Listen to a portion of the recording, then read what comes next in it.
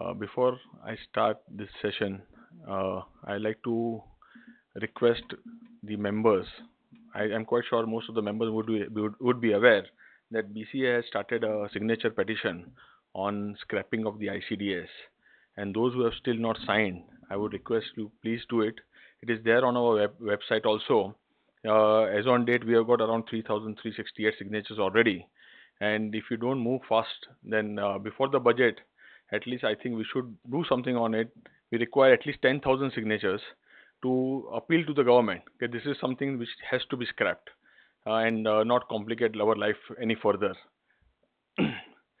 so, Speaker of the Day, Kushal Thakur, Joint Secretary Suhas Paranjape, my colleague on the dais, Gracie, all those who have now logged in and viewing this relay live, seniors, ladies and gentlemen. Welcome everyone to this lecture meeting on crude diplomacy and global economy. In the last lecture meeting, we had an interesting discussion on cybercrime, cyber security, and cyber laws. And uh, the speaker was uh, CA Sachin Patil from the Mumbai Police. The meeting, uh, the lecture meeting has now been hosted on the YouTube, and we already have more than 500 views.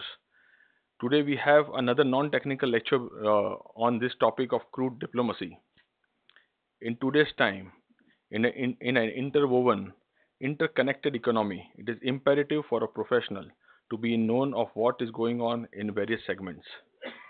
Today, what we know is what media tells us, what we read on the internet, what we hear from our, our acquaintances, and from publications. Today, what is reported, what is projected, what is forecasted, and what is the actual reality can be poles apart there could be something brewing but kept under wraps. There could be something vital yet kept under covers. There could be something to showcase in a manner that is quite different than what it really is. The commodity segment is one such area.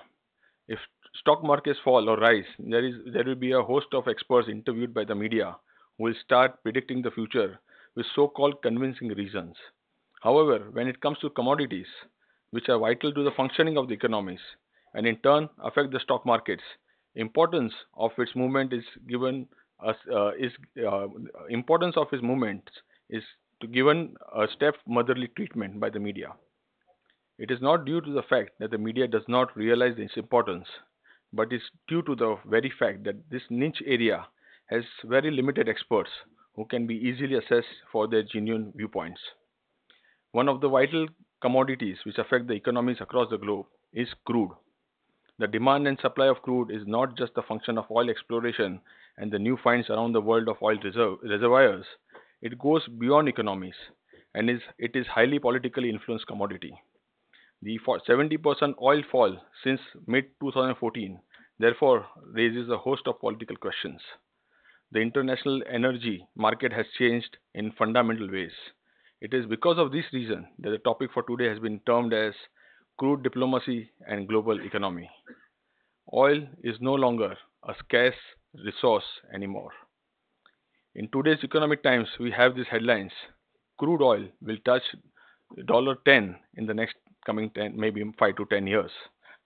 With the reason that there are a few experts who are authoritatively deal with this politically sensitive commodity, and Kushal Thakur being one of them, it was felt apt to have this lecture meeting. Last year, when Kushal was asked his view on crude again crossing US dollar 100, he categorically said that this eventuality was impossible to happen ever again, and it may the crude may fall down to maybe twenty dollars or maybe thirty dollars, and he was quite correct in his prediction. But the question is, where all this will will lead to? How has India positioned itself politically in this crude diplomacy? Will renewable energy play a significant role in disturbing the oil dependency? And is hydrogen the new fuel? To answer all these questions and many more from the floor, we have with us Mr. Kushal Thakur. He is a visit. Uh, I request you all to welcome him with a loud applause. Mr. Kushal Thakur is a dear friend in fact, we did our articleship together, and then at that time only we could sense his passion for the research in market, uh, in stock market and the commodities. And eventually, uh, he went uh, with his heart. He left the CA profession, and today he is now here before us delivering this lecture. Over the years, he has gained considerable expertise and uh, as a commodity trading consultant, and his practice has been concentrated in the areas of commodity trading, commodity research, and hedging strategies for the clients. He has made numerous presentations to the commodity exchanges, international commodity associations, corporate and management institutions. His value driven approach to the commodity business has always provided him with the ability to understand, discover, align, and control the value chain and business processes. He is an active trader in the commodity market, involved in both physical and futures trading. His main strength in commodities trading comes from through the extensive networks and crop survey. In fact, he just uh, returned uh, yesterday night from uh, from a crop survey. Uh, in fact, he visits the, the, farmers, he checks the soil, he interviews the farmers, and he then that is how he does the research. Over the years, he has established a strong network that, is, that has enabled him to exchange information and understand well the global factors influencing the prices of the commodities. Is a visiting faculty member of most top ranked management institutions in India and has addressed a multitude of seminars across commodity exchanges and international commodity associations around the world. He is a regular guide at IIM Bangalore to teach applied economics and risk management systems and analysis of assets. Once again, please join me in welcoming Kushal Thakur. Before I request him to take the proceedings uh, to uh, start his lecture, delivering his lecture, I may request Mr. Pranay Bhai, our past president, to say, because we are going to release our pocket diary and uh, pocket diary and table diary today, so he may just introduce that uh, what what is there all about why we had not done it along with the referencer and why now thank you please pranay bhai please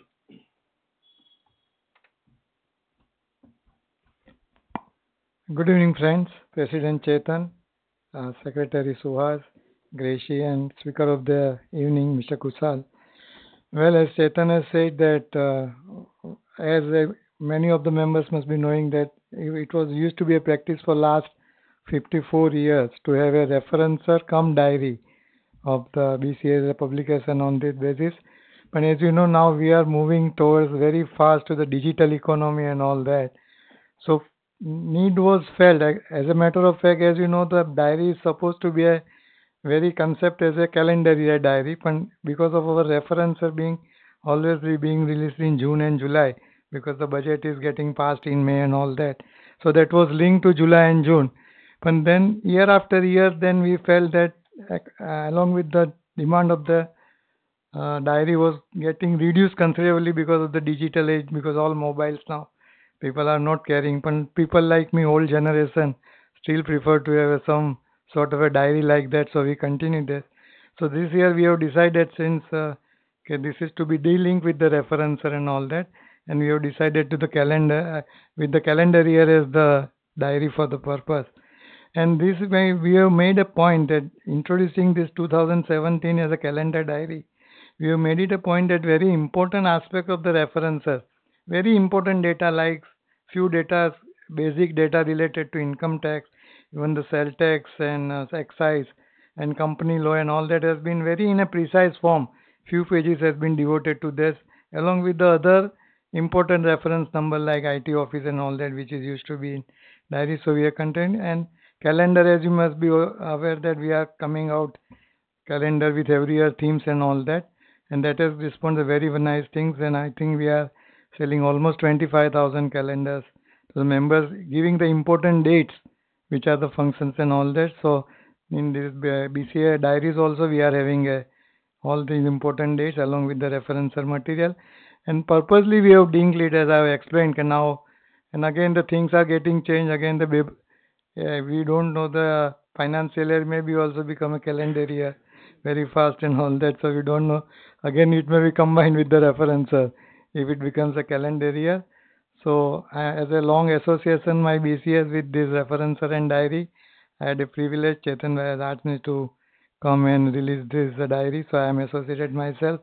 But before I request Mr. Kusal to release, I take this opportunity to thank all my team, particularly uh, Chairman Nausad Panjwani, the chairman of the Membership and Public Relations, he has entirely devoted these task to me. And I compliment my editors, Yatin Desai, Rajiv Shah, Sangeeta Pandit, Kinjal, Bhuta, and Deepak Sai, and all those persons who have made really good efforts. And last but not least, the printer who has made a good effort. And this year, our theme is Legendary Artist of India. So if you will see that we have picked up some 10, 12 artists, legendary artists of India, and a beautiful picture of those things is there also there. So that has also been there. So let's see, it's uh, be useful to the members, those who are used to it. Those who are very tech savvy may not like the crew carry and all that. For those who are interested, we'll find it, and next year we'll see how it happens again. So with this word, I request Mr. Kusal to inaugurate. And pocket diary, as Chetan has said, is also a very popular thing. People are not carrying the big diary, but at least the pocket diary. So that is also very useful. You can carry otherwise.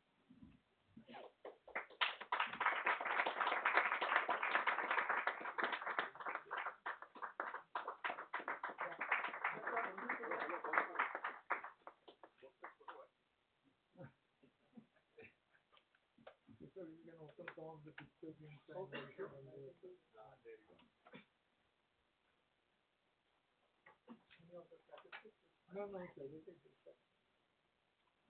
some of the like this. These are 10, 12 artists like this.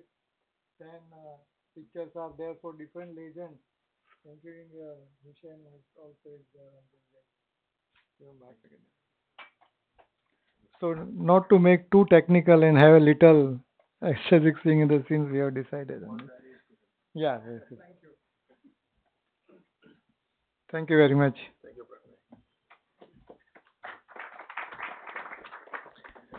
Uh, may I request Suhas to offer a memento as a mark of our gratitude and love for Kushal?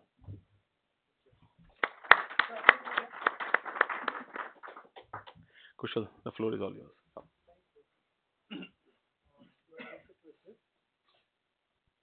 Hello?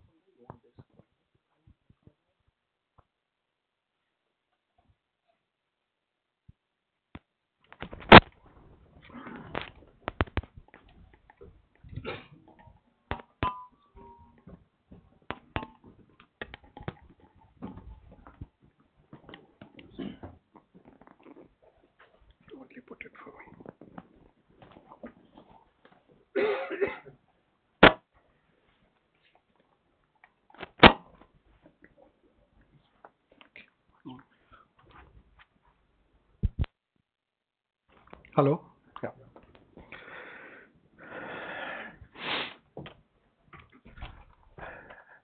It's it's not 8 p.m. and I don't want to begin the speech saying mitro, bhaiyo or beno. It's going to be straightforward. Thanking obviously the committee for inviting me once again. I suppose uh, what was mentioned to me, there was an overwhelming response last year, so there has been a re-invitation and I have a good memory. I do see very common faces once again, so that makes me happy that at least I know whom I'm addressing once again and I know what kind of questions are going to be asked to me also. So,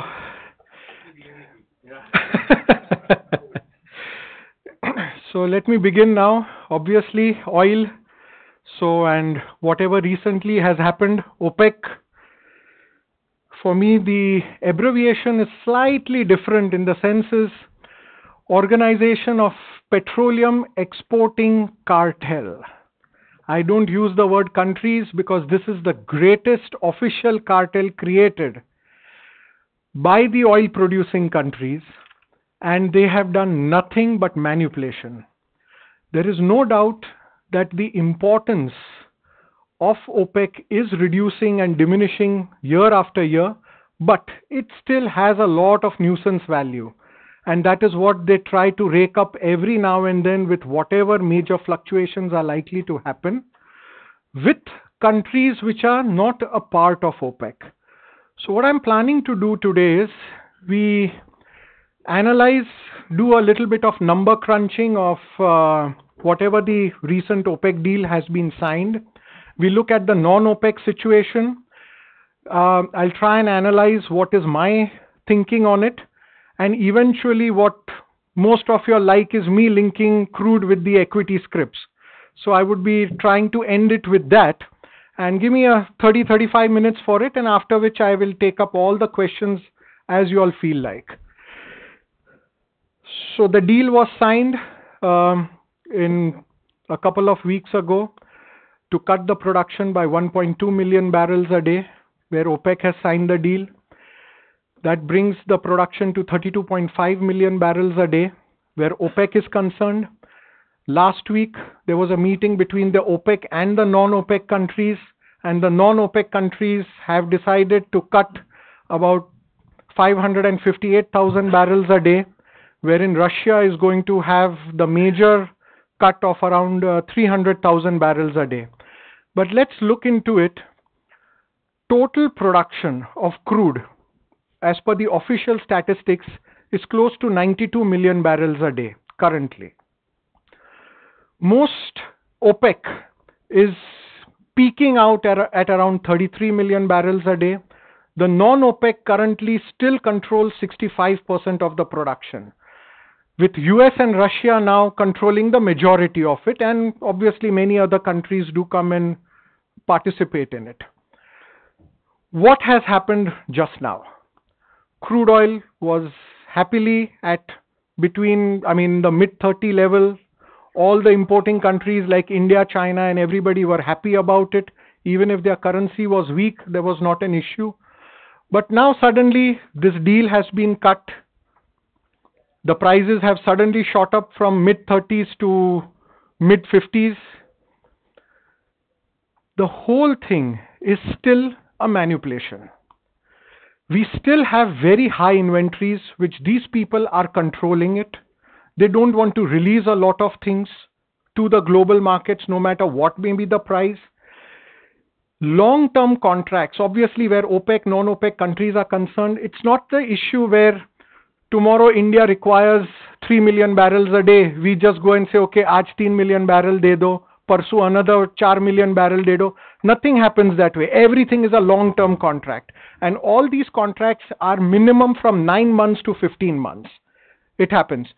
So, if all the countries are auto have already landed into long term contracts, that means this rise which has happened is nothing but an OPEC push of the prices. That they are trying to compete, they are trying to control their own market share so that that does not reduce vis-a-vis Russia and USA and they know that they cannot compete with them on an individual basis so it's better that we have an organization. Again, there is another parallel organization wherein the non OPEC people also meet together and they decide their own terms and conditions. And this whole routine moves in a cycle every five years. Looking at the number crunching now. The deal has to start from the second week of January, where people have to start cutting the production. I have some issues to it how do you check that? There are so many countries which are producing. Today, Saudi Arabia has peaked at 10.9 million barrels a day.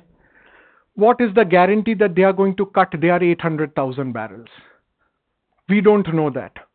Let's presume, yes, they take a self interest because they want to control their market share and their pricing because their economy is in trouble.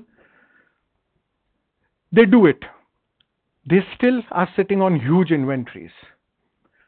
How does how do we check if five mother loads of ships are moving out of their port? A sixth one can move unaccounted for. That is what has been happening in the past. I mean, in, in the rogue countries like Iraq and Libya, we've seen shipments being controlled by terrorists and they've been selling it at $10 a barrel discount. The same thing can happen now also and this time it may happen in an official manner.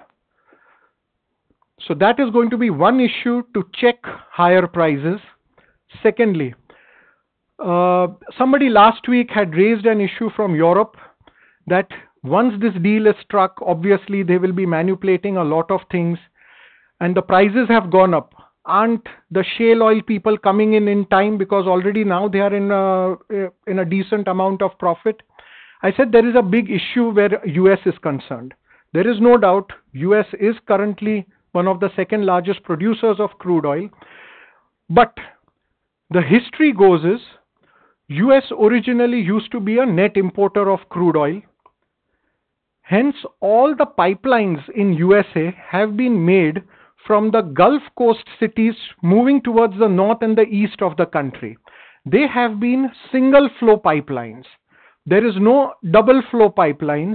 So now when the shale oil is coming, see till to date, shale oil was being transported by train rakes or by uh, runaway trucks.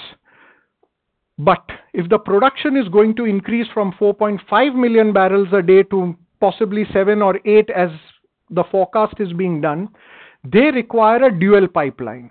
That is yet not in place. So there is a small period of time, possibly a year, where OPEC can still control through their manipulative practices about higher prices. But once these pipelines are ready, we will have shale flowing back to the Gulf cities. And as I had mentioned last year to the same group, US will once again turn out to be a net exporter of not only the oil part of it, but even the petroleum products part of it. And huge refineries and petrochemical units are coming across the Gulf Coast cities in USA. So that is one thing which everybody needs to keep in mind, including the Saudi Arab and as well as their OPEC members, that things can be different. And time is an issue for them also. They also have to buck up to whatever is the global economic situation. And US is obviously with Trump in, there is going to be a revolutionizing construction of new pipelines and all. And wishfully, where we are concerned, especially where India is concerned, higher crude prices is not good for us. With the weakening rupee, seeing the current status going on. So once this happens, I am pretty certain crude oil prices have to start coming down. It could be a angelic fall collapse also, but till that time, yes, it can move towards higher 60s or maybe the 70s also but cannot go with it, personally speaking. Looking from this again perspective, keeping US, Russia, Saudi Arabia aside, we also need to see the cost of production. A lot of oil, which Iran is now going to come out after their sanctions have been raised, is actually the picking up cost is only $5 a barrel. What is happening is the marketing costs is 25 times of that. And that is where the problem starts, where these costs start increasing.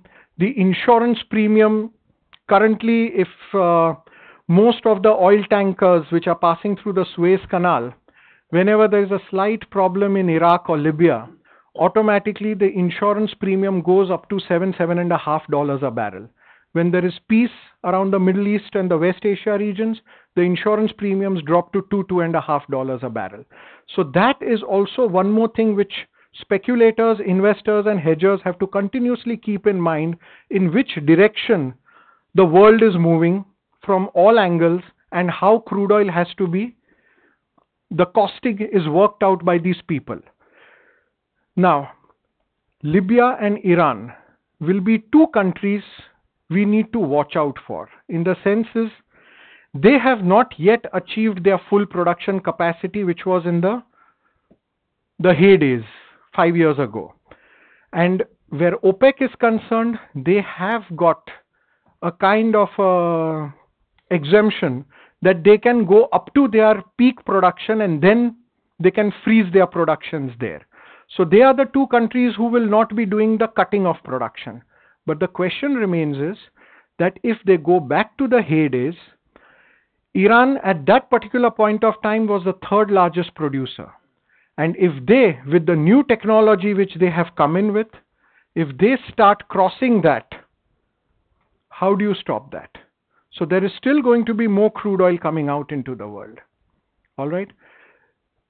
Libya, once the problems come to an end, the country unites, the production smoothens. Libya itself can start hitting five, five and a half million barrels a day, which again is going to be enough. Now, if everybody starts hitting their peak, I'm not discussing the cutting of production as of now. If everybody starts hitting a peak, automatically the crude oil production is going to cross 100 million barrels a day. And some of the economists, Goldman Sachs and all, have predicted that by the year 2040, the demand is likely to be 109 million barrels a day. But without any efforts, we are already going to cross 100 million barrels a day within five years itself. And plus, we need to remember that a lot of substitutes are moving in.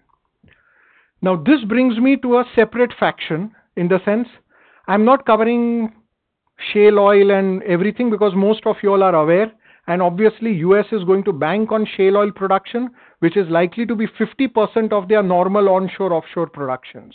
All right. Keeping that aside we are also going to have Canada and all also moving into shale oil. And even if they introduce just two two and a half million barrels a day that is enough surplus that could be generated in times to come. The second faction which I need to look into is natural gas. Because with crude oil, I have to take natural gas, it cannot go. In fact, if you all are lo- looking from an investment perspective, I would rather say natural gas has a little, has a slight better future than crude oil. In the senses, the usage of natural gas is increasing, not only due to climatic changes, obviously, where global warming is concerned, a lot of gas is pumped for the air conditioning part of it, where Europe and USA is concerned. Where the winters are severe, you require the heating mechanisms to be working. And heating oil is losing slight importance over the last few years, and natural gas has taken over because obviously there's a cost benefit to, to it. Now, natural gas also is replacing one of the most important cracking product of crude oil, that is naphtha. Where entire Asia is concerned, fertilizer industry is switching from naphtha to natural ga- gas, which is more green, more economical, and there is no disruptions. Because where naphtha was concerned, obviously it was controlled by a few companies. The prices used to be very fluctuating, and it used to be a problem where the costs were concerned, and that is where the fertilizer companies, apart from the government pricing mechanisms, they used to get affected on their cost of raw material side of it. Now, where gas is concerned, it is a matter of on and off. Most of the pipelines are ready, even where India is concerned, and this is going to turn out to be an advantageous for fertilizer companies. You all can have a look into some of them. So, so this is going to be a very important feature for natural gas. Over and above that, now in the last decade, the technology is there where the gas can be liquefied and it can be transported across the world. See, before there used to be a time where liquefaction used to be double the price of natural gas. And over and above that, there is another 50% increase where certain other logistics were concerned, and another 20% increase where we had to defreeze it so that again it comes into the gas formation. But the new technologies have made it more economical for the transport, logistics, as well as for liquefying and deliquefying it. And that is going to be an advantageous for a lot of countries which want to convert themselves from a crude oil economy to a gas economy. India certainly has got certain policies on that. How the parliament passes, I don't know. But yes, if we move in that particular direction, India's usage of hydrocarbons, there is going to be a mass substitution effect that is likely to take place, wherein currently, where we are importing more than 3 million barrels a day, it can be reduced by nearly 20 25%, which is going to be beneficial to us. And where gas is concerned, India itself produces gas. We just require the right policy to increase our exploration so that we are self sufficient where our own gas is concerned. And obviously, all the companies which are going to be involved in it, again, shifting tracks, moving into the equity perspective, gas producing companies, companies which are setting up the pipelines from B2C, C2C, B2B in all kinds of way are going to be beneficial.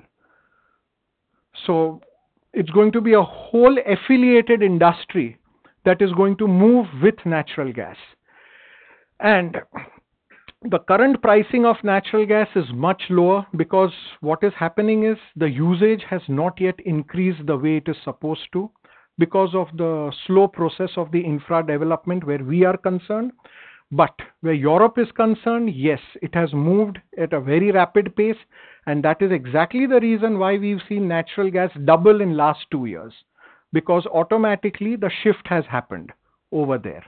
Because Europe is the only continent where crude oil is not produced enough.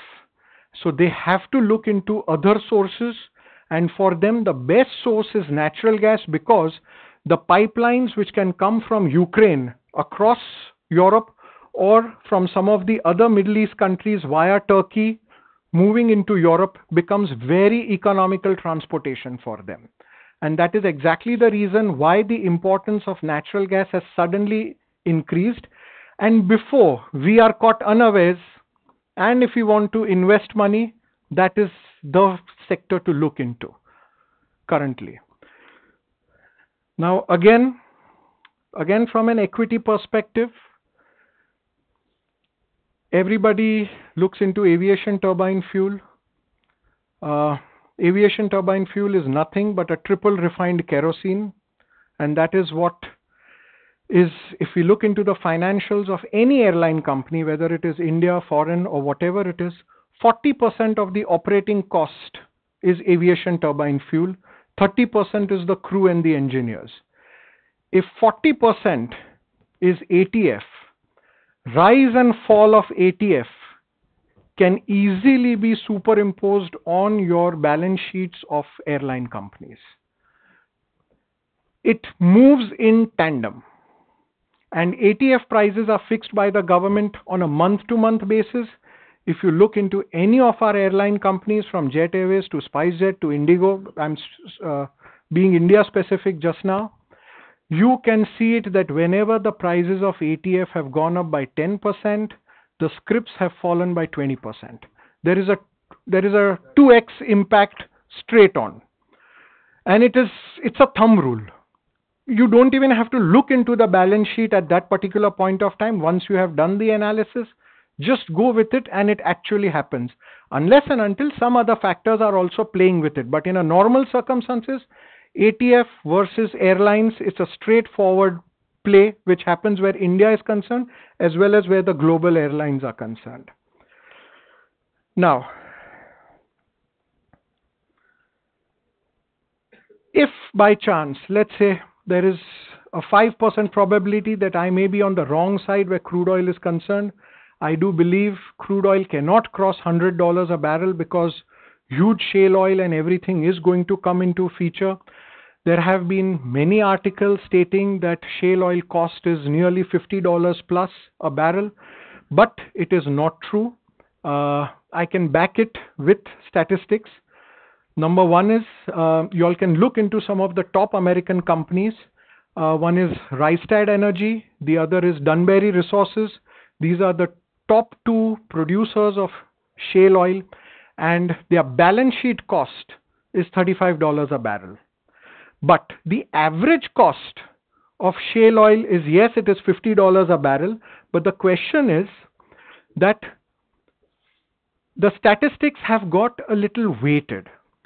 Even the companies which are producing at $58 a barrel have started using a lot of hedging techniques.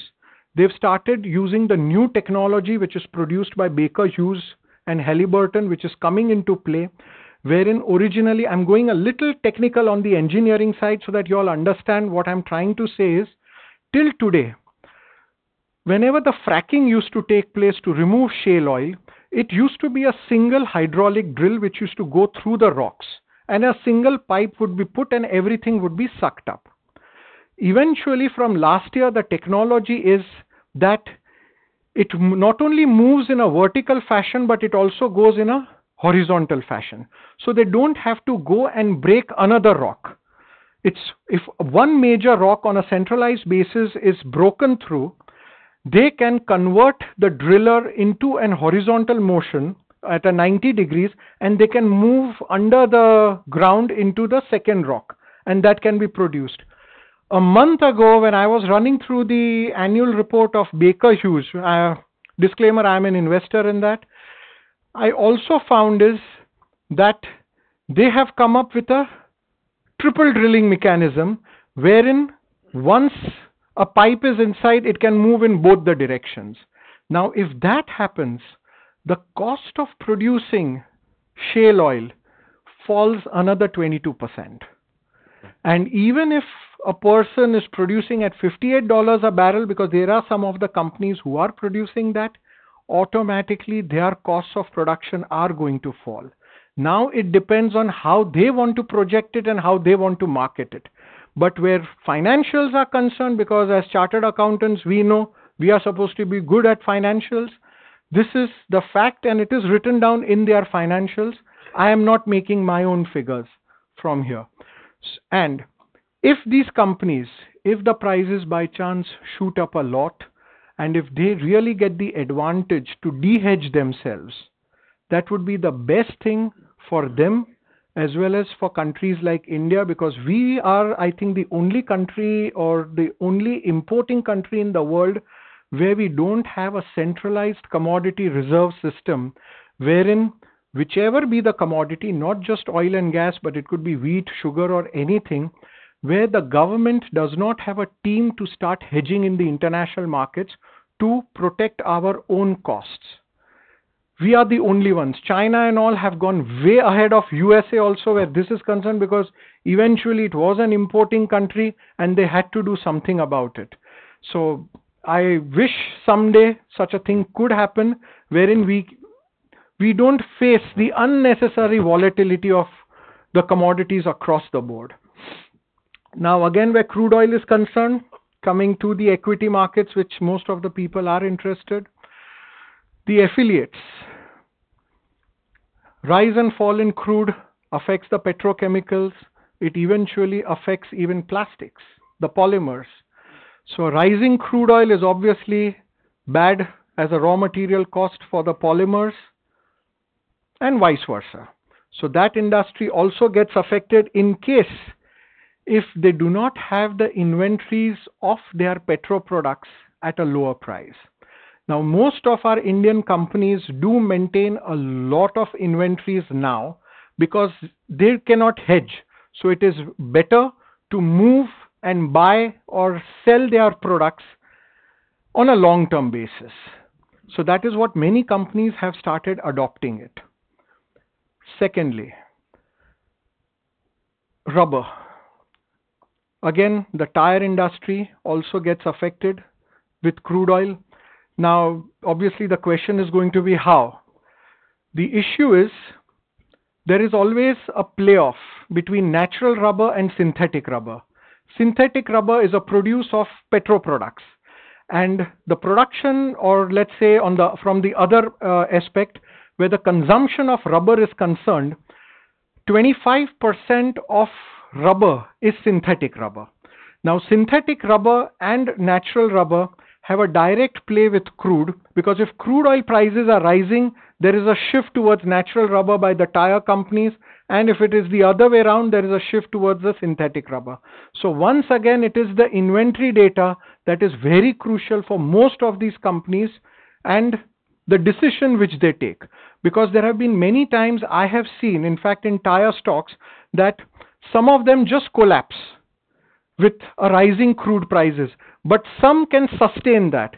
And what we hear uh, on the television channels is the company has come up with a capex plan and all that. See, I can't digest it because if a company during a bad phase has come with a capex plan, why does the share price go up? Because automatically the raw material prices are not going to be conducive to their growth. But when I dig deeply into their balance sheets or on the quarterly results, which I call on the companies, I really understand that they are sitting with huge inventories at a lower price. So now, if the prices are moving in a different direction, these are the people who immediately start increasing on their margins, and obviously their earnings per share takes a growth. So, so that is how I, you know, start digging into the figures, start doing my own statistical analysis to understand how crude is going to affect which company in what particular manner, whether they are on the raw material side of it or whether they are on the finished side of it. And all this can be put on an Excel sheet. It could be put on the right or the left side of the balance sheets and the P&L account. And we would be in a much better way to predict the companies where they are going. And we don't have to follow the normal discounted cash flow method, which normally everybody follows. And personally, I say it never works out. It's rather, it is better to understand the commodity and substitute it into the balance sheets to get a better analytical figure from it. Uh, I think I'll hold over here. Before I move into the next, I'll, it's better I take on the questions because otherwise I can keep on going on and on and I may not be on track where you all are concerned. So that is why.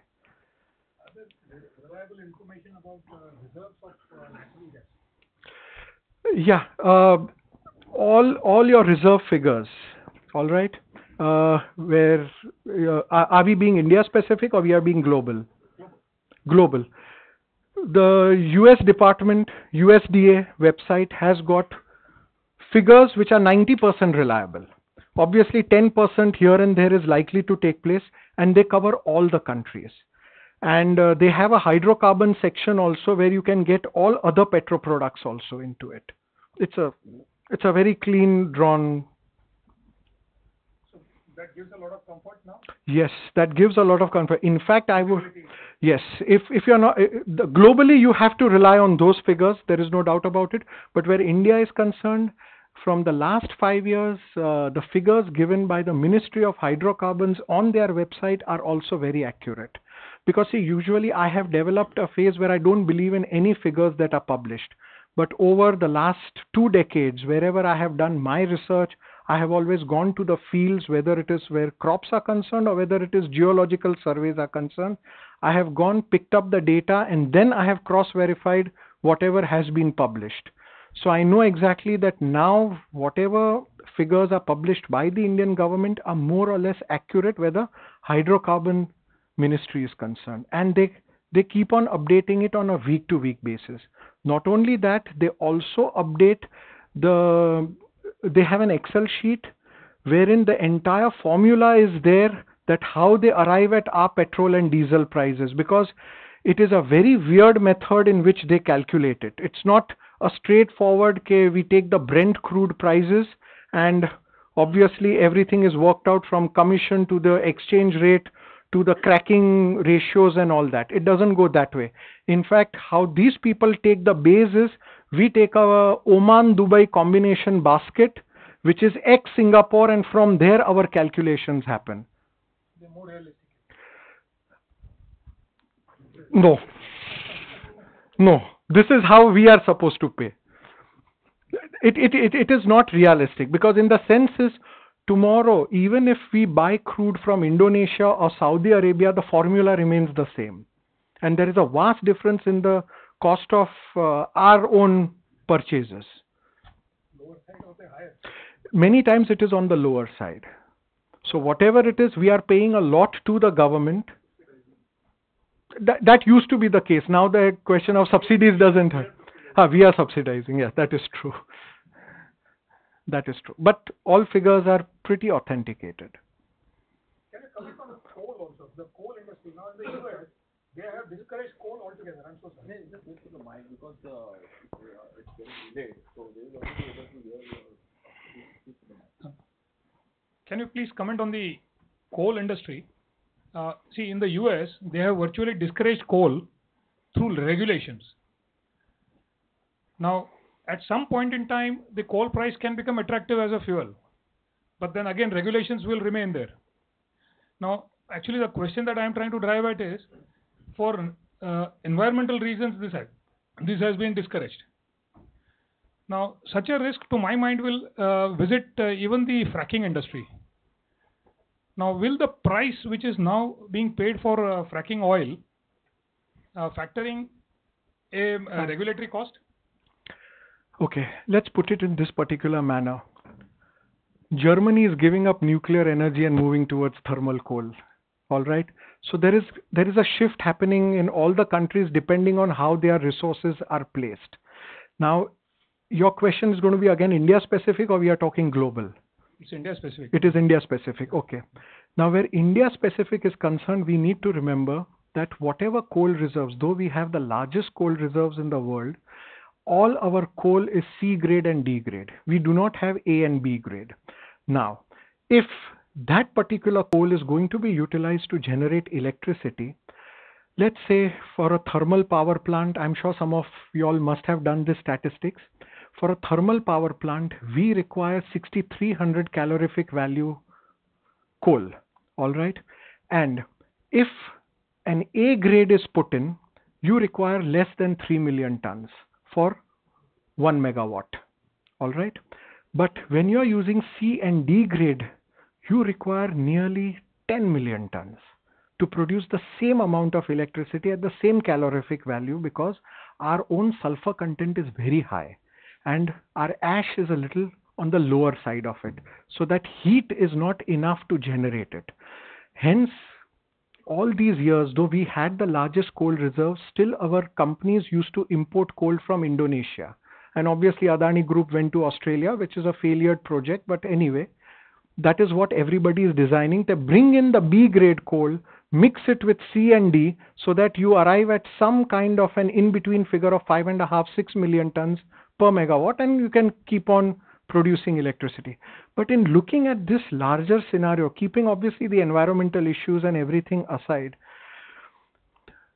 coal will be beneficial where this is concerned. If you are comparing it with crude oil and the substitutes for crude oil, crude oil has to be constantly above $70 a barrel. Then only it is beneficial to have coal coming in.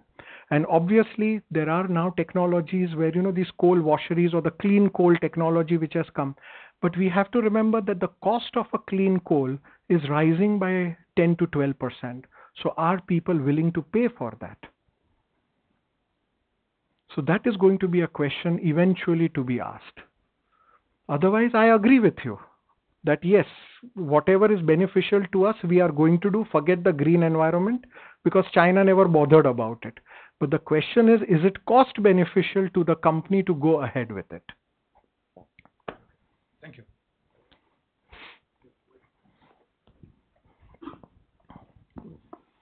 My question is directly on the diplomatic thing. because that was, I think, one of the. Uh, Sure. uh, with Trump coming in and his, you know, Secretary of State being ex-Mobil guy, and whatever is happening between uh, USA of the Trump and with uh, Russia being so friendly, and USA having sort of a cold war with China, and USA having under Trump not having a good relationship with Iran as he has publicly said. Where does all this diplomatic, uh, uh, you know, things will lead the oil? Because a lot of things are driven by diplomacy. Because you know how Russia was brought down uh, only through a diplomatic. Uh, Absolutely. I totally agree with you. Last time also you had asked me a similar question. All right. Now, le- now let's look at it in a different scenario. All right. Keeping diplomacy aside, eventually crude oil is the commodity that is most important for all the countries, for 90% of the countries in this world. All right. Now, if you want to break a country, which is again an oil producing country, would you like the prices to be up or would you like it down? Exactly. So if US and Iran are not going to be in friendlier terms, the best thing is to break crude oil. So there'll be a manipulation on the other side of it. All right. Because what we saw just now, when the crude oil was below $40 a barrel, the entire West Asia and Middle East they had to come out with more and more bonds to fund their own country. Their forex reserves and everything was com- going down. In fact, close to zero, except for Saudi Arabia. But in that process, Saudi Arabia lost 60% of its forex reserves. Now, with the oil prices back, obviously they are getting some chances to recuperate. But the question remains is who goes on what side? As usual, right from the 60s, we know oil is a weapon that is used by everybody, whether it is a consuming country or a buying country. I mean, sorry, or a selling country. All right. Now, if what happens if Iran and US come together? See, eventually, they used to be friends in the past when the Shah of Iran was there. It is only when Khomeini came in, there were differences which were created. But now, where the current situation is concerned, no matter what they are saying, their relationships are moving closer to each other because that is the only thing they can do if they want to do away with the threat of ISIL, which is standing at the doorstep. All right. So here you could you could easily have a nexus where Iran, US, and Saudi Arabia all can have very good relationship amongst themselves. And in that kind of a situation, I'm not saying they will keep the crude oil prices up, but yes, there would be some flooring to the crude oil prices, and they will allow it to go in a in a natural kind of a situation. Because today also I claim, if there was no diplomacy, if there was no OPEC, if there was no non-OPEC committee meeting, if everybody was allowed to produce and export crude oil as we did in a free market zone, crude oil prices would collapse to below $20 a barrel. And that would be beneficial to all the consumption countries. But that is not the case. So we continuously have to look into, as you said, who is with whom. And accordingly, it will be decided. And that is the reason why crude oil keeps on fluctuating on a day to day basis. And forget the companies, forget the speculators, but even many economies indirectly are taking positions in crude, crude oil to save their own country's costs. Otherwise, it is not going to be easy. I said India is not one of them, but a country like Japan has no natural resource except for what they produce rice. Everything is imported by Japan. And on so many years, whether crude oil was at $30 a barrel or $120 a barrel, Japan has still thrived. And they've played the game of crude oil hedging in the most brilliant manner which anybody could think of. Otherwise, that country would have already been finished. A country that faced 14 years of recession and they've just come out of it, no country can withstand that. And that is exactly, I mean, in, in fact, if, even if you look at the, I mean, obviously, we always look at the GDPs of every economy. But if you look at the actual balance sheet of Japan, you will know exactly how they have worked out their own uh, way through and how they've controlled all the commodities which they have consumed. Because eventually, that is the commodity decides where the country is heading to, not bonds and not equities. Equities finally is an economic barometer. But commodities is the underlying asset of the country that if it if it can export and import and the pricing at which that decides whether the country is moving up or not. And its impact falls on the currency also. I hope i have see let's let, let's let's put it uh, in the current situation we've had modi here we are having trump there you are having rightist capitalist people taking the center stage in france also in the primary elections we've seen the rightist and the capitalists coming in Hollande is going to move out. Sarkozy is not winning. You are going to have either Le Pen or the other person who may come in as the president. So you're going to have another capitalist coming in. We are having German elections also coming in. Merkel has always been a socialist, a person who wanted to keep Europe together. She may lose this time. And again in Germany, there is an undercurrent of a rightist moving in. Okay, sorry, I've been using the word rightist. I would rather say capitalist because I myself am a capitalist. I would prefer a capitalist running any country anytime. You know, because that is the only way a country can grow. And where Russia is concerned, where Putin is concerned, he is more a capitalist than a socialist. And that is why he's been able to bring Russia out of all the problems after whatever the collapse had happened where the country was severed.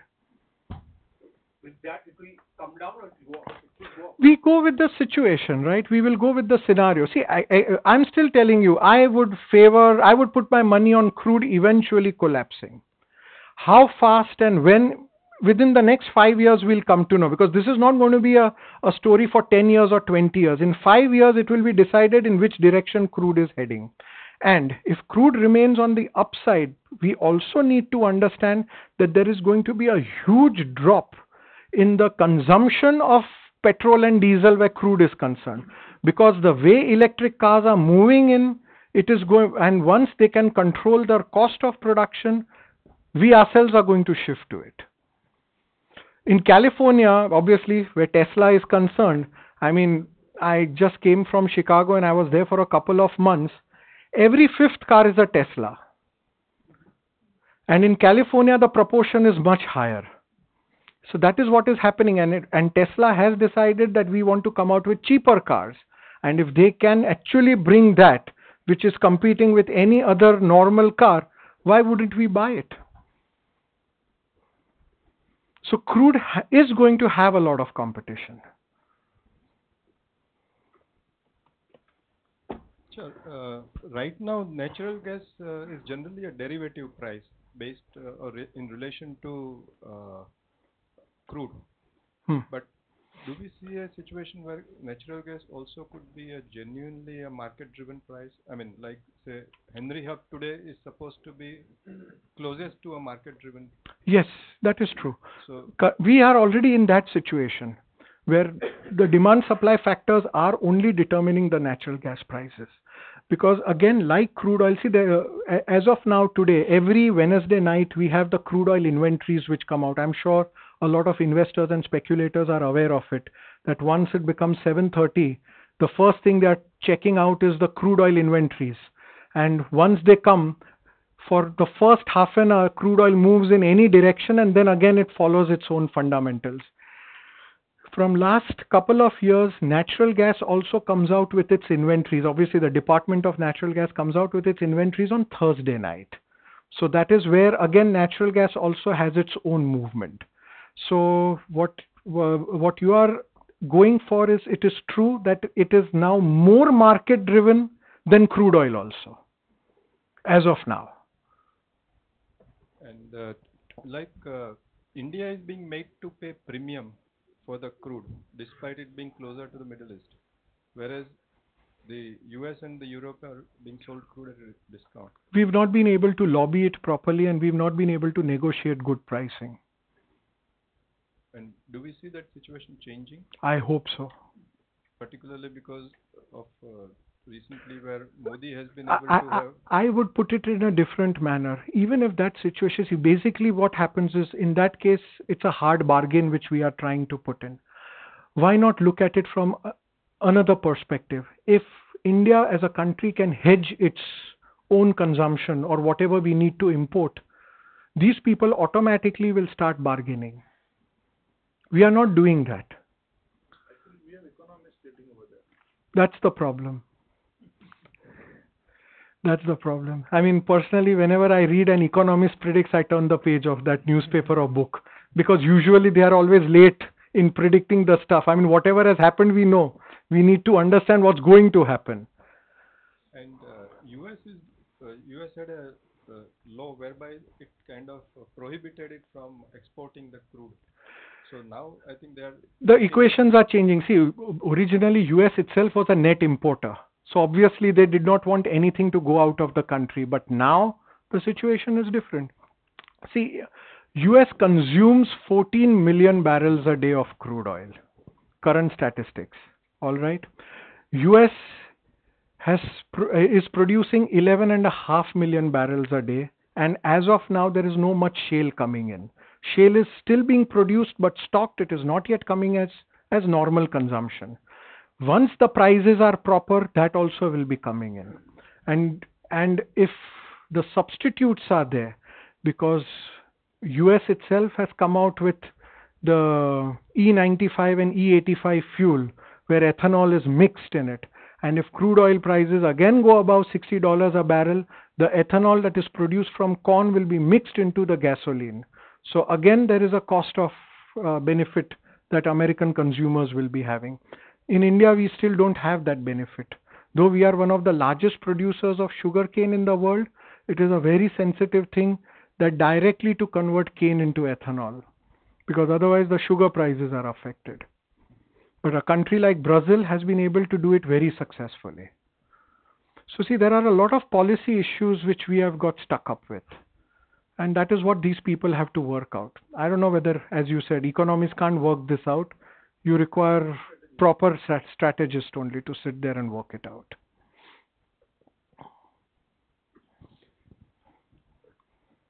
Sir, at what level you think uh, the US will be interested in bringing the prices down? Like, say, for example, if the if the prices rise above maybe 65 or 70, so at what level will be the uh, US consider consider it like important to bring it intervene? Like, number one, number two, you are mentioning the new technology which is going to reduce the cost of exploration uh, by 22 percent. So is it already taking place or will it take uh, some more time for it to uh, materialize? Okay, second question answer answering first. It has already been commercially implemented.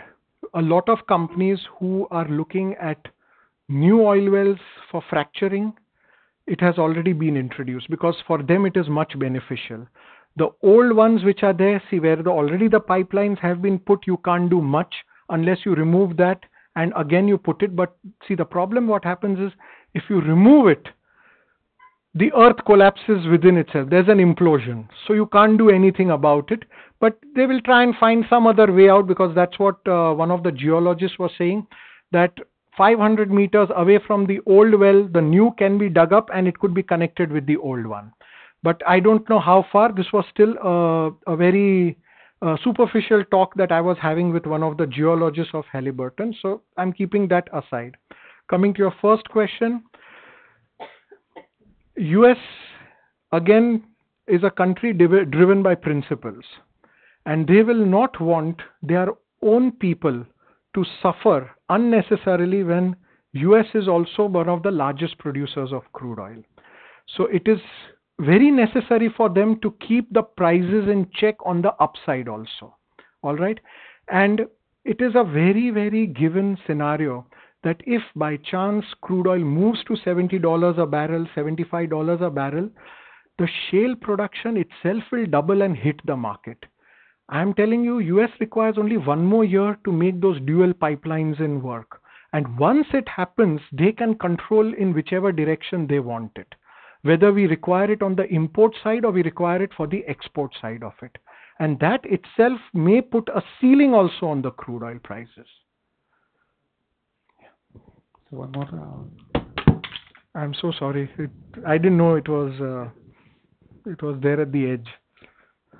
It's about the hedging by the Jap- uh, Japanese and the Chinese. Uh, how effective are the Chinese also? Like, is it uh, uh, is it as effective as Japanese are doing it? Like, how uh, how much uh, India can do it? Like, I can? I can give you one example so that it will be very clear about their effectiveness.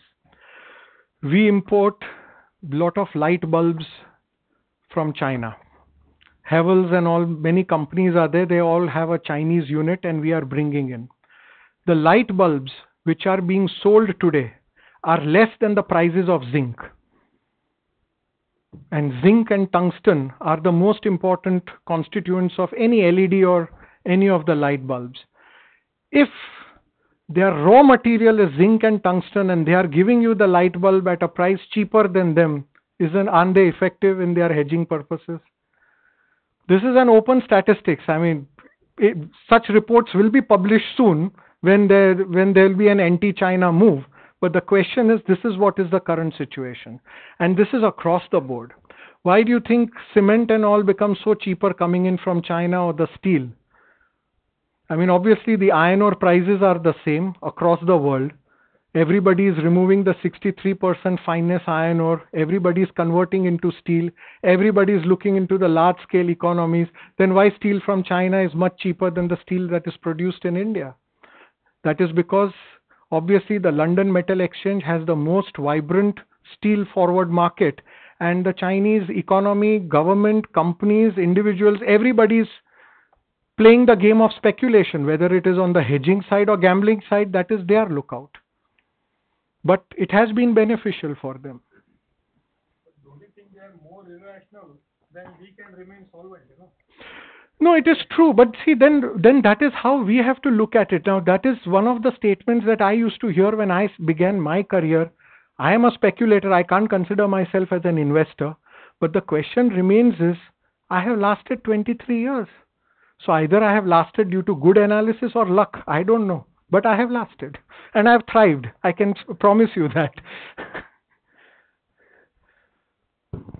Uh, how much uh, renewable energy that we are all hearing is going to affect the entire balance of uh, this crude and, uh, and the diplomacy that is around it? so are we looking into solar specific the Solar, question? uh, windmill, and uh, maybe now I've heard that even nuclear uh, is uh, nu- nuclear technology is getting- entering the renewable part. See, nuclear has always been, but it's a very controversial topic where a country like India is concerned because whenever we want to set up a nuclear power plant, there is always an issue. Okay, in case if there is a blast or anything, as it is, such a thing has never ever happened except for the Chernobyl in Russia, but that was again uh, some okay, that was a conspiracy theory, so we keep that aside. But the question is where solar is concerned because that is the most cost effective. But the question remains is we do not have that much of place to set up solar farms to actually substitute it with the conventional energy sources. And even if we, let's say, take it on a smaller basis where each building of every city town picks it up, there is a limitation to it. See, there is a there's a cost of maintenance to it also. And in a tropical country like India, if we have rains, it is very difficult to generate captive solar power. All right. If it is cloudy again, the effectiveness goes off. All right. Again, you have to put a lot of restrictions on people moving around around the solar panels on terraces in case if it is there, because the the thing is the heat which is being generated is too much. By chance, if a person touches it or something, there could be burns. Or if children are playing and if a ball hits the panel, the panel cracks. And the replacement costs are very high. See, the generating and the distribution costs are very cheap. But the panels by themselves are pretty expensive still. But the world over, I think, uh, uh, for example, in Chile, that the solar is now highly, highly used as a Correct. source We of have to also look at the civic sense of each country. I agree. And how much uh, the uh, US dollar is actually stabilized or maybe manipulated due to crude uh, prices? No, where uh, where crude oil prices are concerned, I do not believe that uh, there is any connection between the two. US dollar is strengthening itself because that is the most stable currency as of now. I'm not saying that US is a very growing economy or anything, but it is the lesser of the evil because all other countries are in a difficult stage and this is the most stable country so what basically what is happening is that the capital from across the world is moving into US investments and obviously strengthening the dollar even if they don't want the dollar to become strong there is no stoppage to it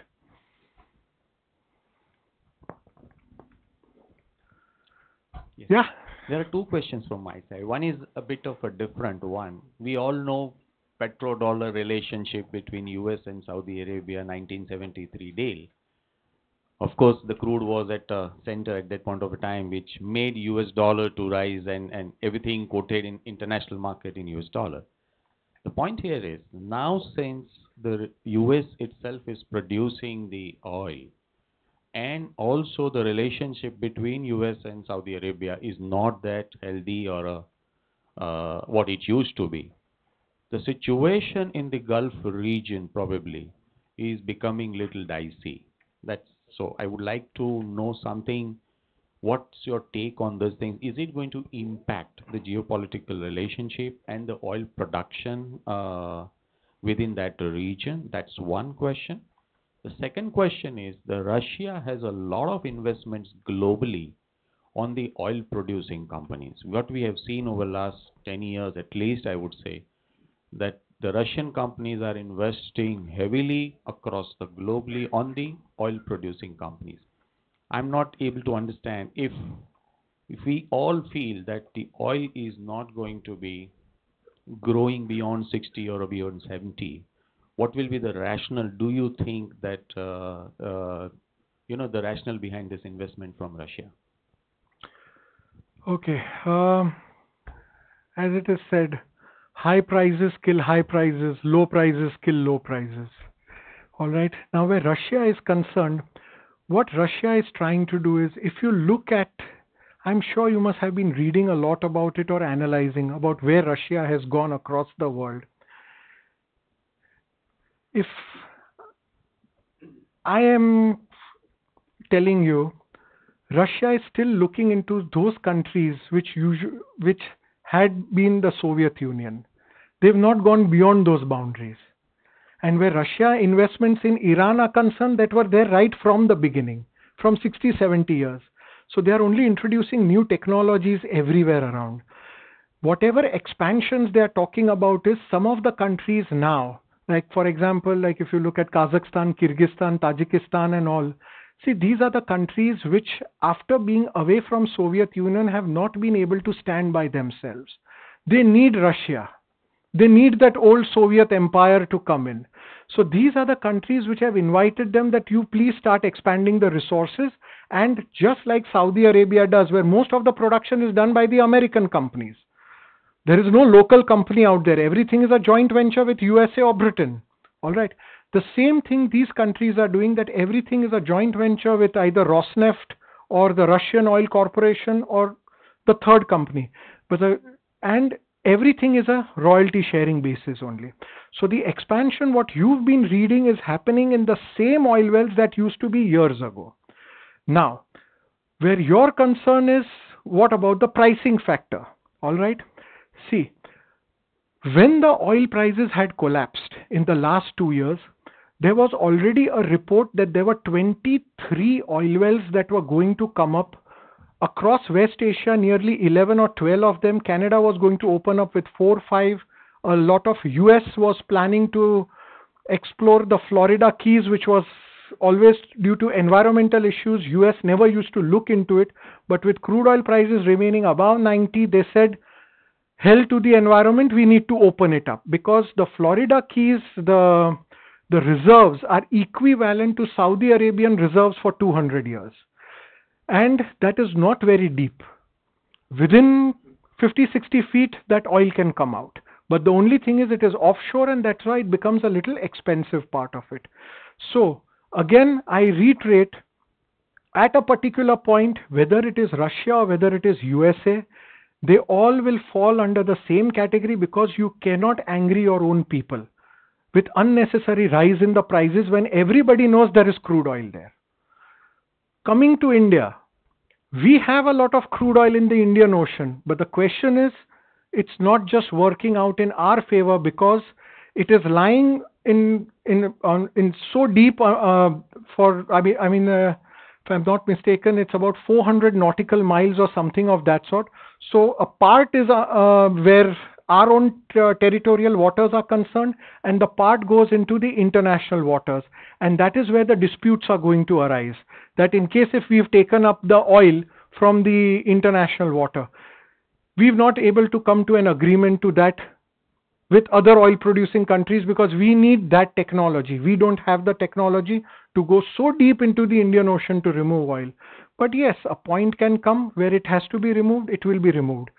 So oil is there enough. Whatever we've been hearing that oil will last for 20 years, 30 years. See, there was an understatement which they never used to come out with that cheap oil is not going to last for so many years. But now the question is that expensive oil will not last for a long time. And at that particular point of time, there were no technological substitutes. Now we have them. So, again, only if there is a terrorist activity or a full fledged war in West Asia, the prices can go anywhere, which I also cannot predict. I am going as per the normal economic factors in a normal situation. Slight here and there, what we are seeing is happening. But how long can they do it? Even the OPEC deal is only valid for six months. After six months, everybody is going to say we want to produce more, we want to export more because it is our country that is at stake because everybody has lost their forex reserves. You have your answer to that. The yes, thanks for that. I think the first question also, but just to to mention about the investment from Russia, I think they have done a lot of investment even outside the er- erstwhile Soviet Union, like in African countries, or recently even in India, where in Essar uh, they have uh, a huge investment, uh, Rosneft. Uh, Of course, you are absolutely right in saying that overall it's a market force which determines the the price of an oil. But I just wanted to understand a rationale for the Russian government or a Russian company to to go for that investment. But I think They are uh, they are controlling their market share. See, we should not forget that India used to be a Soviet ally for a long, long time. So Russia had a lot of resources, a lot of connections out here, and they are trying to exploit it because yet we've ne- we've not seen the American companies come in over here. So obviously it's first come first serve basis as what our government says. Whoever gives a better price, we move with it. And where Essar is concerned, Essar also had original Russian connections and now they are coming back into it. So it is just that. And where Africa is concerned, Russia is looking more towards the gas part of it and not the oil part of it because the hydrocarbon map of Africa is more gas related. So again, everybody knows the importance of gas, which I just mentioned, and that is the reason why they are trying to explore into the Africa. But again, Africa is not a very stable continent. The government and the militia both are the same. Uh, would you also throw some light on my first question about uh, the geopolitical situation in the Gulf region? What, how do you see that thing? It's a development. See, a different if question. if they want everything to go proper, see there is uh, as of now there is a lot of unemployment in the region. That is what is resulting in all these terrorist activities and all that. If they can generate good employment and everything should work out fine. Now again, uh, a parallel situation. I think you were the one to ask petrodollar, right, to me? Okay. So where petrodollar is concerned, look at it from a different angle. Petrodollar was a term which some nice journalist and economist had given and we accepted it. Whenever most of these Gulf countries, whenever they are exporting crude oil, they may be taking part payment in dollar terms or whatever currencies they want. But there is a very big issue to them because these are all the countries that do not produce food grains. And even where a country like India is concerned, many times we are giving them wheat for oil. It's the food for oil program which a lot of countries have launched. Now, petrodollar is a term where they've tried to do it where the balancing takes place. So if I'm giving you so many million tons of wheat, you are giving me so many million barrels of crude oil, there is some value gap. And that value gap is fit in by the payment which is called as a petrodollar. All right. But in the current situation, what is happening is crude oil prices and food prices are more or less now getting equated. If we if we uh, bring out a common denominator, and that is where these people's situation is that it is better to at least have the food intact, even if we have to make a loss on the crude oil exports. Because if there is there is hunger in the country, there is going to be an issue, and the Gulf countries particularly are very unstable where that is concerned. Even the security part, uh, Saudi uh, kingdom security, which has been protected by the U.S. government at that point of time. Absolutely. Now, since it is the situ- scenario is going to be changed, uh, probably the expectation or what we read uh, is that True. the region is going to have a little bit of a shaky times uh, in in the coming years. You know, True. But I'm not only restricting myself to Saudi Arabia. I'm re- I'm going for all the countries. See, however, whatever insurgency, instability, whatever is happening in these countries, at the end of the day, whether it is the militia, the terrorists, or good people, everybody requires food to eat. All right, and they have to get it from somewhere, and that is only going to come out from a few countries only. Sir, one question. By seeing all these developments, uh, how do you forecast for the crude for next two year, five year, ten year down the line? And considering all things are normal, there is no any extraordinary events happening. And by considering other development also like electric cars and other technological developments. See, I, I, I um, there was an article which I had written in Financial Times London that I am seeing crude oil eventually go the way of kerosene, that it is going to disappear. In the future, we are going to have various kinds of technologies, fuels, and everything that can easily replace crude oil. So, crude oil may become just as important as kerosene is. I would say in 10 or 15 years, not uh, during our lifetime only, not for the next generation. It's just a matter of five year peace in the world, and crude oil will be the cheapest commodity available. Wow. Can you share this article with BCAS? We would love to share this Oh, article. this was an article written five or six years ago. I'll, I'll try to hunt it down. I don't keep copies. Sorry for that. But, anyways, I, I'll try and send it across, and I think they can publish it in one of the journals.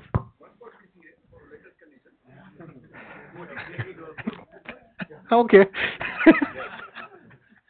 Yeah. Sure. Uh, a few countries in Europe have uh, mandatory blending of uh, biofuel. Do we have any such requirement in India? Yes, we do have, but the question is at what cost? Like we started doing uh, like uh, the Kakinada port in uh, the south and the east. We were importing a lot of palm oil from Malaysia and Indonesia specifically to burn it into biofuel. But the question remains is it is only feasible if vegetable oil prices are low and the crude oil prices are high. The current situation is the vegetable oil prices are higher than the crude oil prices. So how do you burn it? Because even if we take like for example just a statistic like uh, uh, palm oil is around 560 rupees per 10 kilograms, you have to add 100 rupees to it to get it into biofuel. Now, if you look at that equivalent, it will it is costing you $62 a barrel. But currently, crude oil itself is $53 a barrel. So why do I use biofuel for that? Yeah. See, this was all uh, you know commissioned because everybody thought that crude oil is heading for 150, 200, and it's like we may not have petrol suddenly one day to fill up our cars. But where commodities are concerned, such scenarios never happen.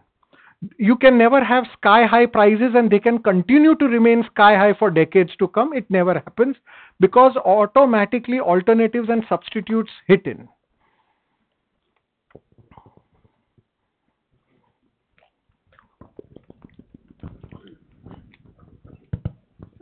For this uh, crude refining margins, which are earned by gross refining margins, which we talk about, do you think that it will be impacted because of the crude prices going really down?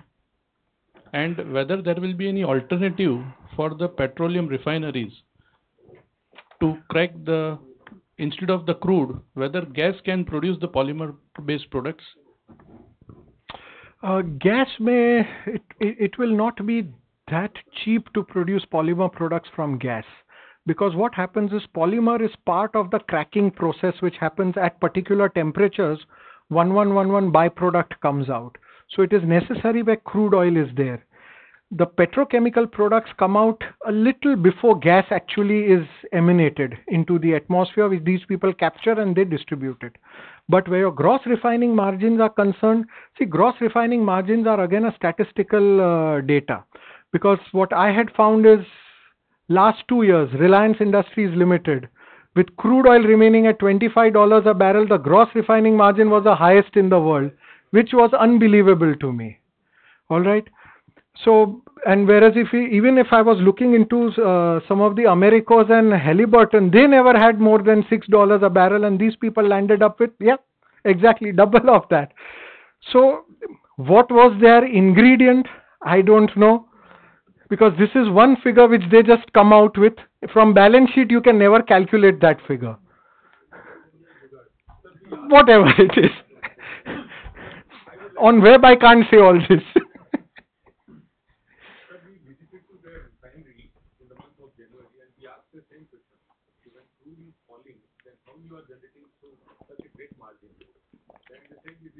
efficiency, this is one part.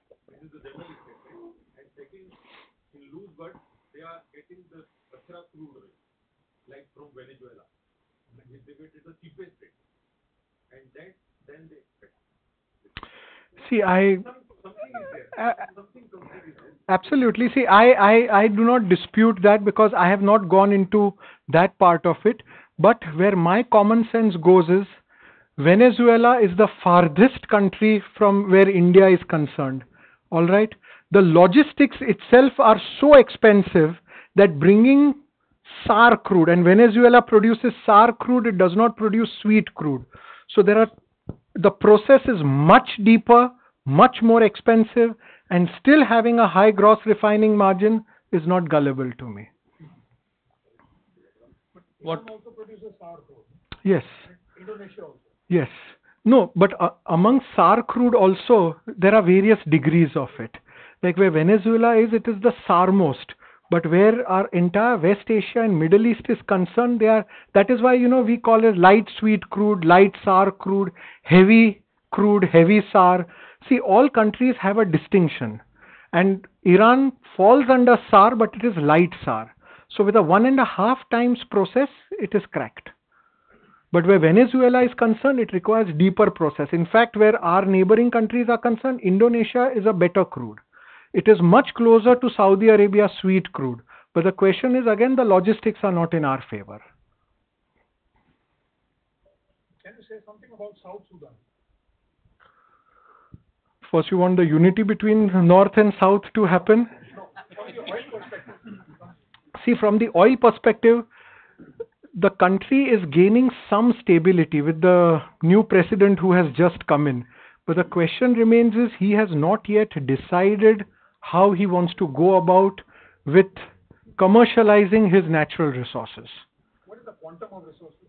Much higher than Saudi resources, they say. Is that true? See, what uh, I would say they are equivalent to Nigeria, but equivalent to Saudi Arabia is difficult. With Nigeria, yes, so they can be producing three, three and a half million barrels a day if proper technology and everything is utilized to it. They can be number. Three, Iran will still overtake everybody, right? As as we move in time. what is the prospects of the geo prospecting companies with the crude prices being at the levels which you foresee? Hardly anything. I mean, all the companies would uh, uh, uh, come to a saturation point. That it will be like an annual maintenance for them. Okay, how can we better it? Or if there is anything in the vicinity, let's go and explore it. But absolutely new prospecting of crude becomes difficult if the prices are at a low end. I have a question. Like generally, gold and crude prices have moved uh, together. Like if crude prices go up, gold goes up, and if in 15 years you expect the if in 15 years you expect the crude prices to not be any uh, to not be significant anymore, uh, where do you see gold then?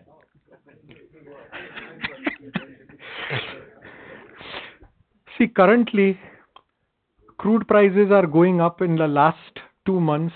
Gold is still going down. Leave India, Indian rupee aside because for us it is a conver- conversion case. But in dollar terms, that is happening. I would rather say look at gold by its own self, not compare it with crude. See, these are all again economic based statistics, which, see, I can even uh, get you crude comparison with the BSE Sensex and all that stuff. But just look at gold by itself. Three factors. China and India have imported less than 50% gold in last year. Are you aware of those figures? Right? India has imported about 550 tons, which we usually import 850 tons plus. China imports 1100 tons. This year they have only imported 450 tons. I'm giving you from Jan to November end statistics. All right. The world produces 3000 plus tons of gold. All right. If the two major consuming countries have reduced it by 50%, and Europe every year, due to the Washington Agreement, is selling 500 tons of gold to stabilize their own currency, how can gold remain high? There is inventory of gold that is being built up. No black gold, no white gold. Gold is gold because it is imported, whether it comes through smuggling or it comes officially. This is as much gold we can buy. You know, that is how it goes. All right. The thing has to change wherein if if countries decide that we want to have gold standard and they have to they buy gold to stabilize their own currency, yes, then gold prices will start moving up. Otherwise, minor swings here and there without any fundamentals, you've already seen gold falling from $1,900 to $1,150, which is currently. And see, gold is itself like a major topic like crude oil. So I don't think I can take it up right now. Otherwise, itself has a lot of statistics and a lot of economic impact. Starting from the uh, the Nixon's era, where the agreements were signed, where gold became the standard where US had to follow, and why gold collapsed, why it increased, and why it is coming down now. There are clear economic factors to it don't compare it. Look at each commodity by itself, it will be better. You will understand the inherent characteristic of that commodity and how you can make money from it. As a speculator, I can tell you this much only.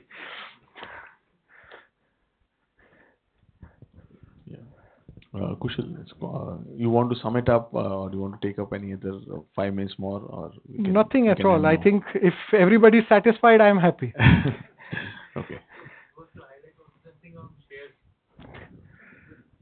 Equity, something.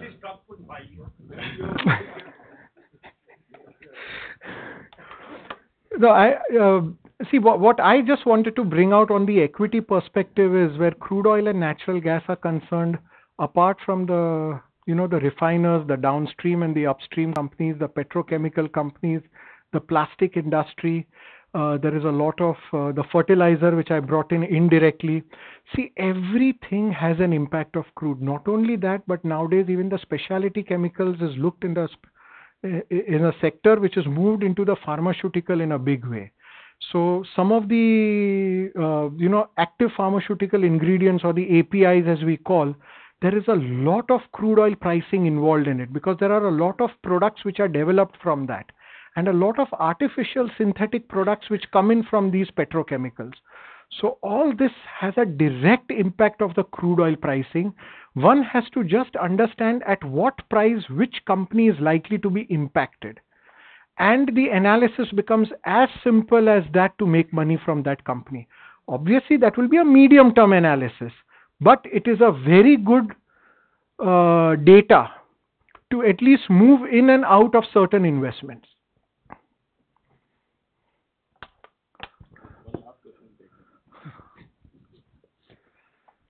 So please uh, throw some light uh, on the comparison between the Chinese growth and the Indian growth now. Like say about uh, 30 years back when China was starting, we were we have read reports like China acquired oil fields left, right, center across the globe. Like okay, so.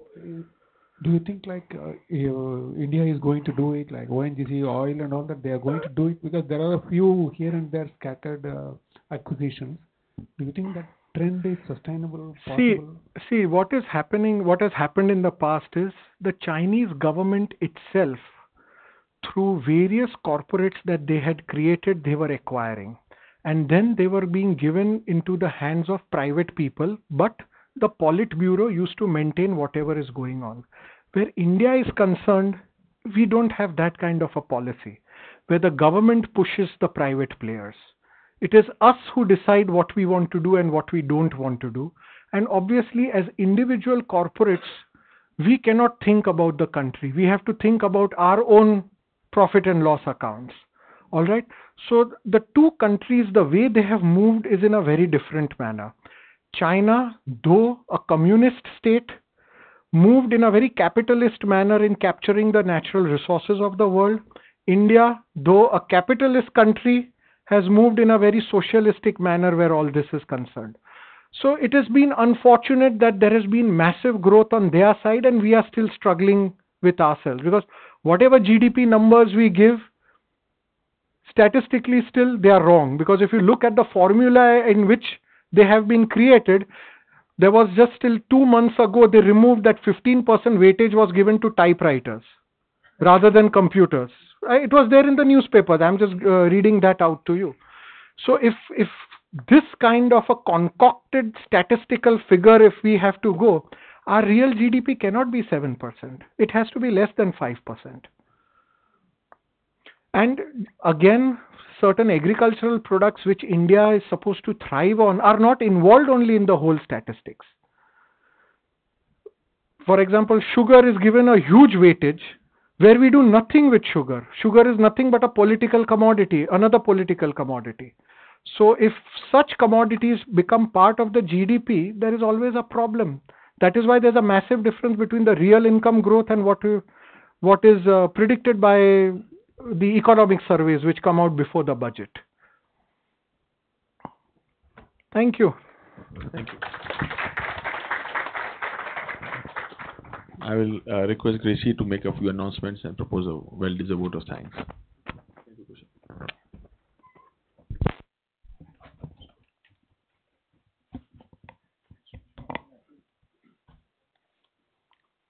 some lecture meetings. On 11 January, Wednesday, we have A.R. Krishnan, Chartered Accountant, who will speak to us on important case laws of 2016 in service tax. The venue is here. Then we also have on 25th January, Wednesday, T.P. Oswal will speak to us on global developments in international taxation impacting India. We have a workshop for two days on mergers and acquisitions on 27 January and 28 January at St. Regis Hotel next to Palladium, Lower Parel.